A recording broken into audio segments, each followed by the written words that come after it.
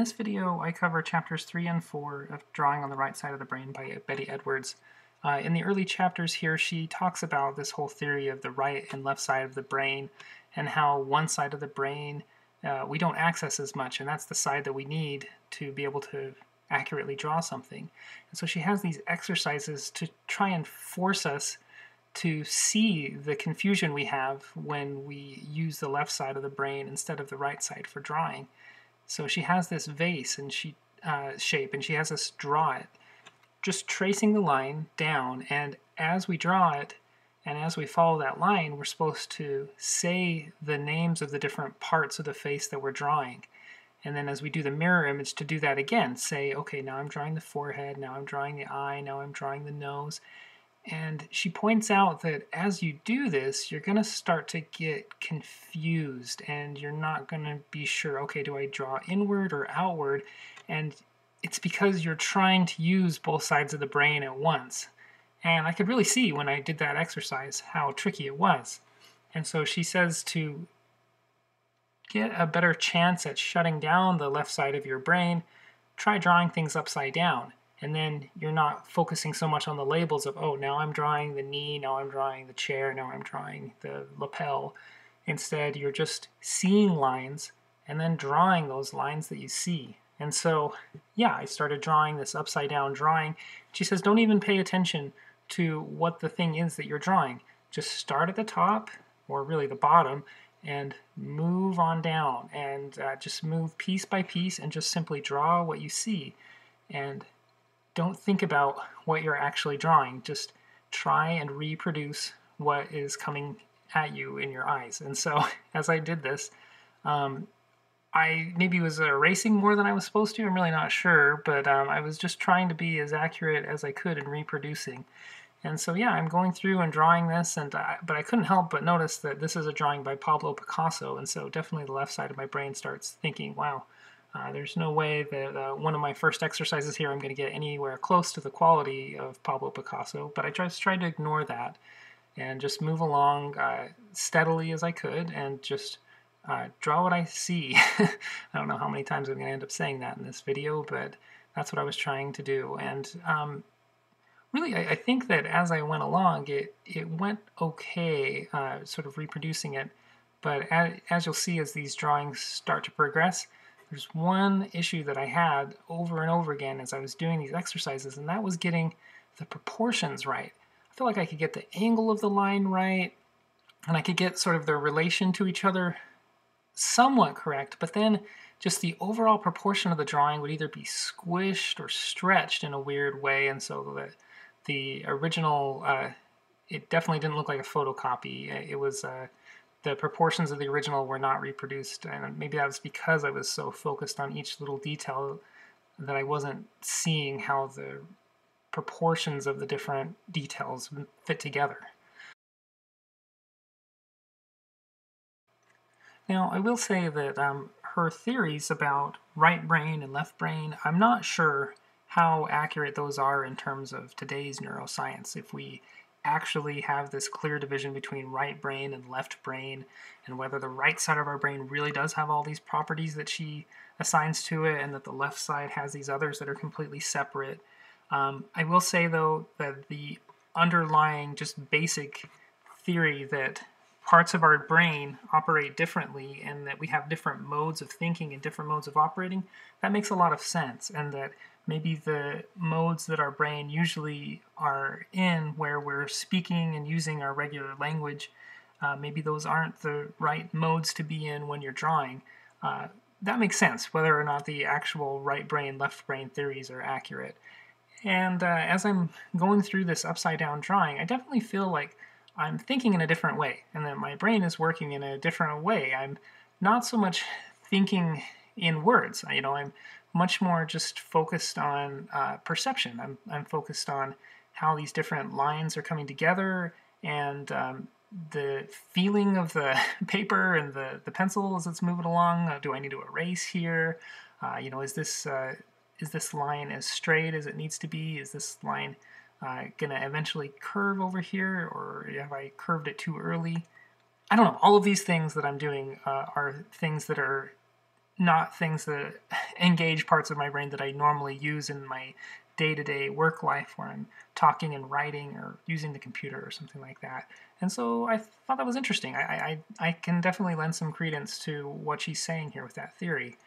So yeah, as you see this uh, picture sort of progress, uh, you can tell that um, the neck is a little wider than it should be, and uh, the shoulder isn't sitting quite on the same spot in the page as it should be, uh, according to the original. But um, there are these little marks you can see at the center points of the bottom, left, right, and top edges, and those are you're supposed to try and orient using orient your drawing using those little marks. And I did my best with that, but it's just a little bit off. And I, so I guess that proportion is something that I'll have to work on as I progress. But you know, the point of this right now isn't to try and be Pablo Picasso at your first attempt. It's just to try and experiment with how your brain works. Uh, the most obvious spot where you can see where the, this is off is the necktie. My necktie on my version is very stretched out, and the head is way closer to the top and almost getting squished in a weird way to just try and fit it on the page. So all of that is uh, just uh, to illustrate that um, I've got a ways to go. But um, certainly, I think this is uh, a lot better than I would have been able to do if I was doing this right side up, because I would have been thinking the whole time, okay, now it's time to draw the guy's fingers, and is this his right knuckle or is this his left knuckle?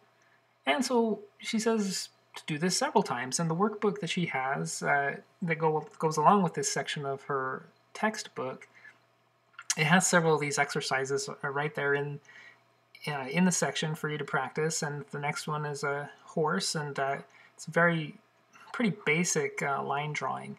And I thought that this one would go pretty smoothly compared to the other one that seemed a lot more complex, but really it wasn't any harder or easier than the first one. It was just the same sort of process of looking at the lines and moving along uh, and drawing what I see. And as I'm doing that, again, I see that the proportions are off, but I'm just trying to ignore that uh, and just uh, focus on following her instructions of uh, reproducing without labeling in my mind what exactly it is I'm drawing.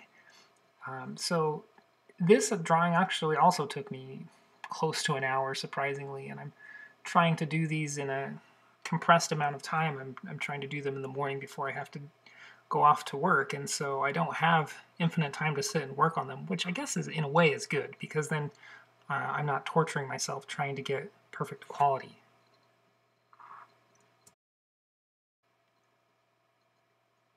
The other thing that I really uh, am starting to appreciate more as I go through these different exercises is just uh, how much talent is involved, or not so much talent, but how much work is involved and skill is involved in drawing something. You know, it does take a lot of effort to really perceive something and draw it accurately.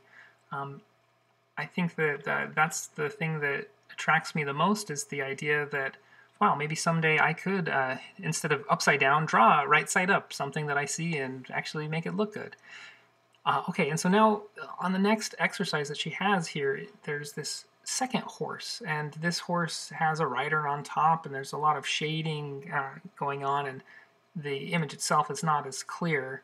Um, but really, again, this is not particularly more difficult or less difficult than the other uh, other exercises. It's just kind of the same thing. Now, I didn't try to recreate any of the shading here because uh, I frankly don't know how to yet, but uh, I figured that it was more important to just try and get the lines, like the, the clear lines that I could discern. But okay, I guess that is one thing that was a little more difficult on this exercise is that some lines weren't exactly lines, they were just kind of maybe more shaded patches. And I thought okay well do I try and recreate that with a, just a pencil line? Or do I just sort of let that go? And I, I think in most cases I just opted for simplifying. And so I would not draw a line unless it was a pretty clear line in the original.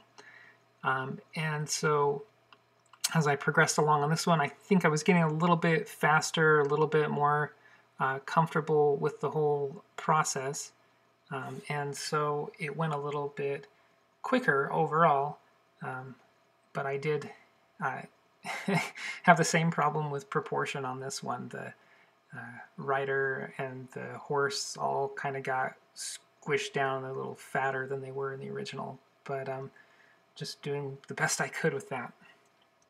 So in the book, uh, Betty Edwards, she asks if when you're in the R mode, uh, did you notice that you were somewhat unaware of the passage of time?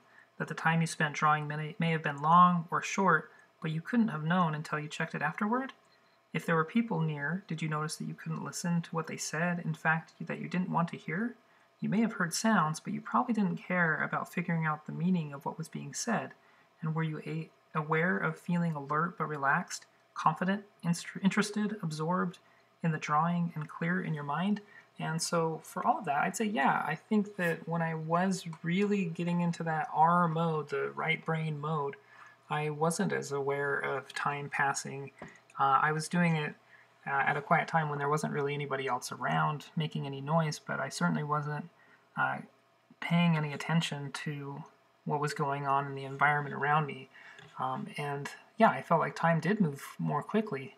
It's actually a really pleasant feeling, you know, to see uh, when you're done that, oh wow, an hour has gone by, an hour and 15 minutes has gone by, and it hasn't really felt like anything. It's, uh, it's sort of the opposite of boredom. it's, uh, you know, when you're just watching the clock slowly tick by and it feels like it's almost going backwards or not moving forward at all. This was just the opposite, where you start on the task and you get so engrossed in it and you look up and think wow okay now i actually need to get out the door and get to work. I, am i can't believe how fast the time has gone by. And so i'm going to take that as a sign that uh, i was doing it the right way even though the, the product here is not all that impressive. Uh, you can see you know it sort of resembles it but much more squat. But you know i i was accessing that right side of the brain or that other mode of thinking uh, and so yeah, that wasn't that was a, a cool experience and something that I'm looking forward to feeling more in the future. Um, and I'd be interested to hear if anybody else is trying this, if they're feeling the same sort of experience when they do these drawings. And so, yeah, I decided to go on to the next uh, exercise uh, because I I think that you can't get uh, too much practice in in this mode. And here's another one where really until I I turned the picture around, there were parts of this picture that I had no idea exactly what I was drawing. I mean, at one point I thought I was I thought the lady was sort of holding a, a, a top or like a turnip shaped thing, but it really ended up just being part of her clothing, and uh, I really didn't catch that until I spun the picture around. But I guess sitting there guessing what is it I'm drawing is probably not great because you're not supposed to be thinking too much about what the labels are, what the the language uh, uh, uh, to describe it would be, but rather just what uh, what edges and lines and curves are you seeing. And so I think it's it's really hard because um, every day, pretty much all day, we we spend our time with that left side, and so much of the left side skills or the L mode skills are what are valued in our jobs or, or just our daily living uh, you know, the, the things like uh, calculation and, and language processing and that sort of thing. Uh, it's just so heavily used that the other things of the perceptions and feeling um, are disused, and so they're sort of atrophied, and so it's it's hard to engage those. So, um, moving along with this uh, upside down drawing here, I'm uh, sort of guessing, but at some point I'm so confused at what it is I'm trying that I stop guessing. And so I guess that's uh, a nice effect of these pictures that she's picked out to practice on is that they are things that are sort of hard to decode as you're as you're drawing them uh, and hard to label and so they force you to be in that R mode the right side mode something else that uh, Miss Edwards says in her book is uh, that in the creative mode, we use intuition and have leaps of insight, moments when everything seems to fall into place without figuring out things in a logical order. When this occurs, people, people often spontaneously exclaim, I've got it, or, ah, yes, now I see the picture. The classic example of the great aha is the exultant cry, Eureka, I have found it, attributed to the Greek mathematician Archimedes. Um, so, yeah, I, I think that that creative mode definitely gives us a chance to figure things out in a way that we might not if we're just using the that left side mode where we're trying to be uh, logical and procedural.